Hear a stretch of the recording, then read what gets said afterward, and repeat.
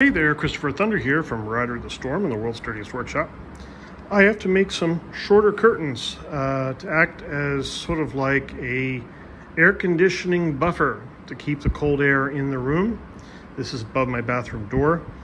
Um, I don't have a ruler. I don't have a T-square. Um, measuring is a bit of a trick. So uh, you measure with a, a rod of some kind, you put a band-aid on it to give you the distance, then for a square edge, you just use a square piece of material. You line the edge up with the top and you're gonna cut across here to give yourself a straight edge. I'm probably gonna cut a little excess so we can fold it over. I can give it to my uh, mother-in-law and then she can sew a bottom on it. But for now, I'll be able to cut these curtains down, no sweat.